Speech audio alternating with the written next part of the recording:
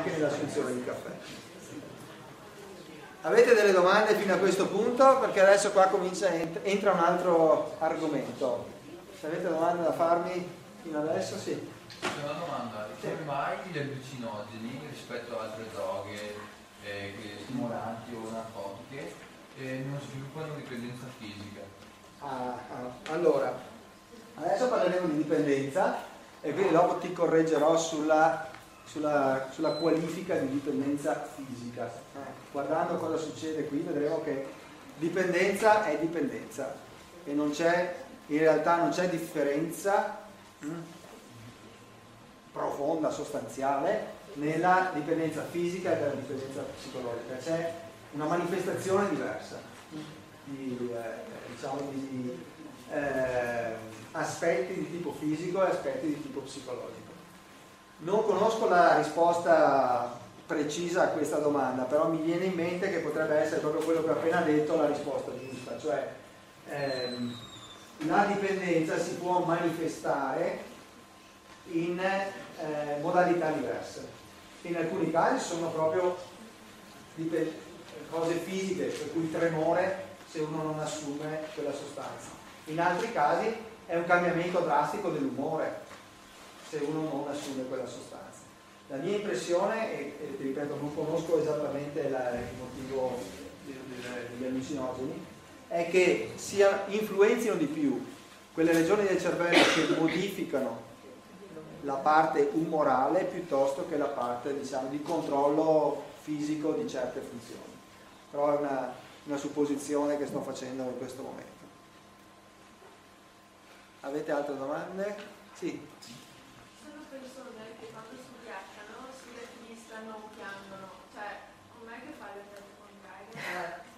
Perché come dicevo prima, l'alcol è piccolino e va dappertutto, ha effetti in moltissimi, eh, moltissimi recettori e una delle, una delle, cose che è stata sicuramente dimostrata è che eh, aumenta eh, l'effetto inibitorio del, dei neuroni GABA ergici.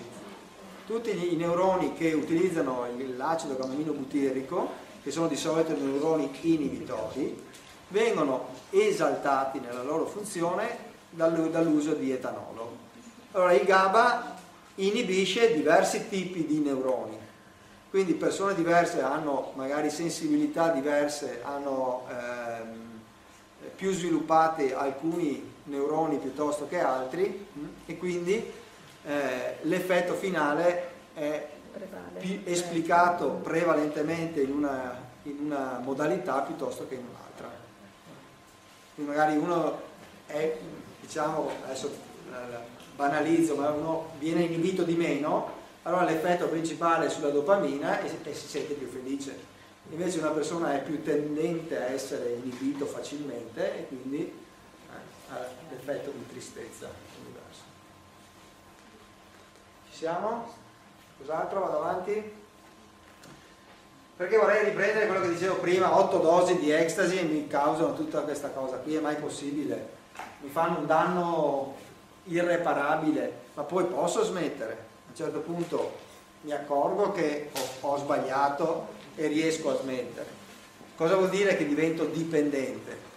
Divento, non riesco più a smettere davvero, quindi non riesco più a a liberarmi da questo amo a cui sono rimasto appeso prendendo il vermetto che, eh, che c'era intorno. Allora com'è che succede che fumando una sigaretta io posso diventare dipendente da nicotina?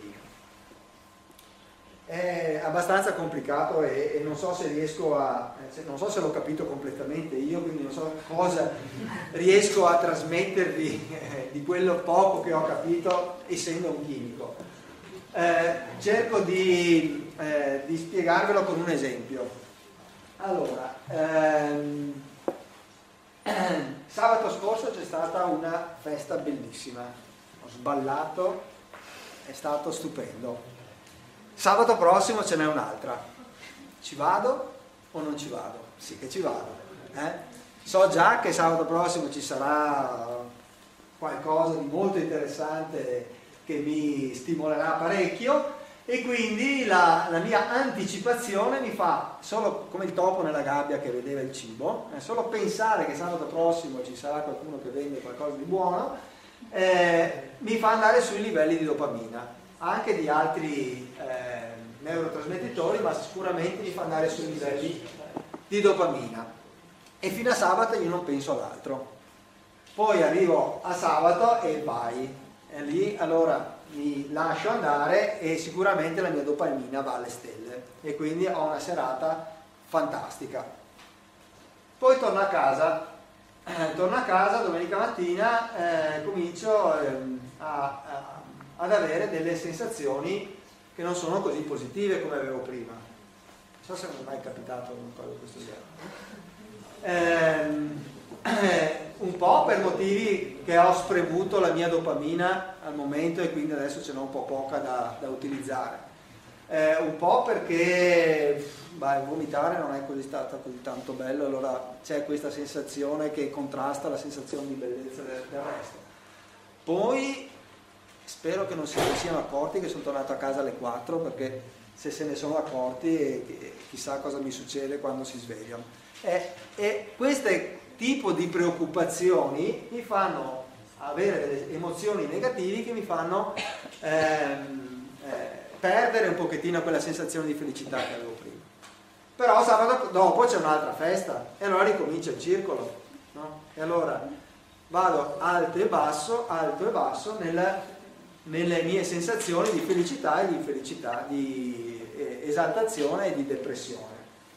Il problema è che se eccedo tante volte, un numero sufficiente di volte, eh, davvero creo delle, eh, delle, dei difetti, delle, delle mancanze di neurotrasmettitori, per cui alla fine non ne ho una sufficienza per mantenere i livelli normali. Eh, se volete, in qualche maniera, questo è stato descritto in un giornale di neuropsicofarmacologia, eh, dicendo che una persona normale ha degli alti e bassi. Il suo umore non è sempre costante, va su e giù, però in media mantiene un livello accettabile di felicità accettabile. Una persona invece che utilizza sostanze per, per cercare di mantenere un livello umorale più elevato del, del normale, il risultato che ottiene è esattamente l'opposto, perché suo, eh, la media dei suoi livelli diminuisce sempre di più ad ogni utilizzo di sostanza, proprio perché sta eh, utilizzando eh, la, dopamina o la, i neurotrasmettitori che, stanno, eh, eh, che servono e anche per una, un'altra serie di cose che succede che eh, cercherò di farvi vedere eh, nelle prossime diapositive. Per cui in realtà quello che succede è che i cicli di, questo, di utilizzo di sostanze esogene, cioè che vengono da fuori, anziché aumentare costantemente i livelli di felicità, la abbassano. E quello che succede è che sulle membrane dei neuroni, in particolare sulla sinapsi che riceve il segnale, non ci sono solamente i recettori eh, canali ionici, questi sono i recettori veloci che trasmettono l'informazione velocemente, ma ci sono anche degli altri recettori che sono dei recettori regolatori, dei recettori che servono per mantenere costante anche lì i livelli eh, necessari per mantenere una normale attività.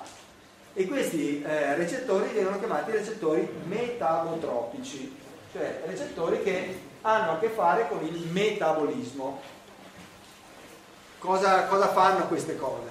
Supponete che ci sia un canale ionico nella, nella post sinapsi che viene continuamente sollecitato. Eh, la cellula si accorge di questa sollecitazione eccessiva perché lo stesso recettore, cioè scusate, lo stesso neurotrasmettitore, oltre che legarsi qui, si può legare anche un recettore di controllo metabotropico. Questo recettore comunica al nucleo della cellula, guarda che qua stiamo subendo un'inondazione di eh, stimoli, dobbiamo controllarla. Come può fare la cellula per controllare una, una aumentato, eh, un aumento di, di, eh, di stimolo? Beh, per esempio, anziché mettere sulla membrana 100 canali ionici, se ne possono mettere solo 50. Allora se ne metto di meno, lo stimolo che ricevo è inferiore, giusto? E quindi uno, eh, questo è proprio uno dei controlli che la cellula esercita e dice se io ricevo uno stimolo troppo elevato qui, lo controllo attraverso questi altri recettori e faccio sì che il nucleo sintetizzi un numero di, eh, esprima un numero di eh, recettori canali ionici inferiore in maniera da non essere inondato da tutto questo, da tutto questo stimolo. E dai oggi, dai domani, la cellula continua a ricevere questo stimolo il numero di canali diminuisce sempre di più fino a essere completamente eliminato. Quindi il numero di recettori diminuisce effettivamente con il continuo uso di queste sostanze. Ed è questa una delle cose difficili da recuperare nel tempo poi, perché il recupero della normale funzionalità passa attraverso di nuovo un cambiamento delle, dei livelli di espressione genica e non è così banale. E in effetti se voi fate, misurate i recettori della dopamina nei cervelli di una persona normale e nei cervelli di una persona eh, dipendente da una qualunque di queste eh, droghe, trovate dei livelli inferiori di recettori, un numero inferiore di recettori rispetto al controllo normale. Proprio perché il cervello si sta difendendo da un eccessivo eh, stimolo. E questo tipo di eh, reazione è una reazione che è normale, vogliamo chiamarla reazione, una reazione di tipo chimico, vogliamo chiamarla biologica, vogliamo chiamarla fisica, fisiologica, decidete voi qual è l'aggettivo che volete metterci dentro, ma c'è dentro un po' di tutto, perché è la funzionalità che viene modificata, perché vengono modificate delle molecole e il risultato di questa modifica sono delle azioni, come dicevo prima, dei, delle manifestazioni che possono essere o di tipo fisico o di tipo psicologico. E questa affermazione che è scritta qua non l'ho detta io, ma l'hanno detto gli psichiatri. Cioè gli psichiatri hanno cominciato a riconoscere che trattare i sintomi fisici e, e trattare separatamente i, i sintomi psicologici è sbagliato, bisogna trattare il fenomeno nel suo complesso. Allora, ci vado o non ci vado alla festa? Sabato. Mm? Come faccio a decidere se, se è positivo o, è, positivo, o è negativo ad andarci? Beh, io ho parlato solo del circuito della ricompensa, ma nella decisione finale ci sono degli altri circuiti che sono eh, coinvolti.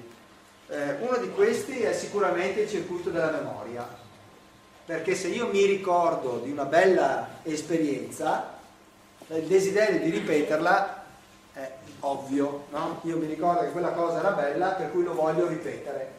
E allora se decidere sì o no dipende da queste due aree del cervello c'è un controllo eh, di rinforzo, di motivazione che sta nella corteccia orbito frontale, qui dietro alle orbite, hm? che dice sì sì dai rifallo, fallo, fallo di nuovo. E poi invece c'è un, un, controllo che dice no, sta fermo, non farlo, non buttarti dal quinto piano, sì, lo so, è una bella sensazione, però alla fine dopo no. Eh, e questo questo tipo di pensieri diciamo, ci deriva dalla corteccia prefrontale che è un pochettino più indietro eh, nel nostro cervello. E questi due circuiti devono essere bilanciati per farci fare le cose giuste ma non quelle sbagliate.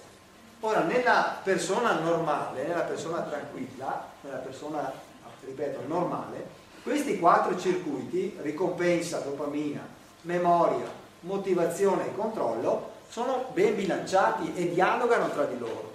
Ciascuno trasmette le sue informazioni agli altri.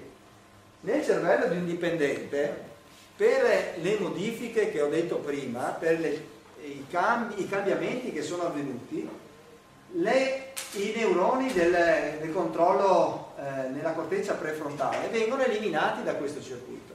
non dialogano più con gli altri, l'amicizia viene cancellata su Facebook. Eh? Per cui eh, una persona dipendente non ha più nessuna ragione per frenarsi dal fare una certa azione che era percepita come positiva.